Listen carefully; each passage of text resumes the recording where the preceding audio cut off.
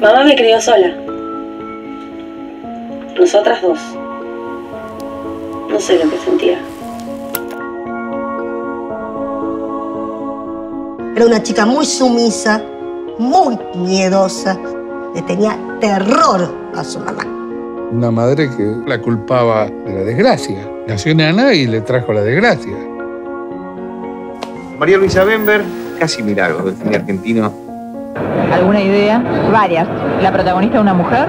Eh, no, no puedo adelantar nada, no sería seria.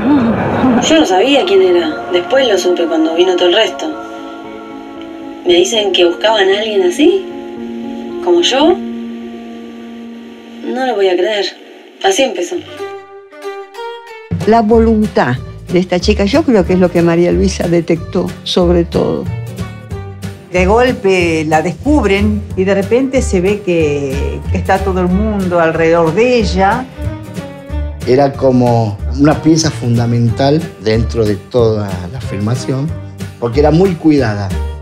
Una reina. Esta nena fue una reina. Imagínate la intensidad en un rodaje de ficción donde vos haces un personaje protagónico. Mañana se estrenó la película y después desapareciste. Yo sabía que ella sentía y sufría mucho la soledad.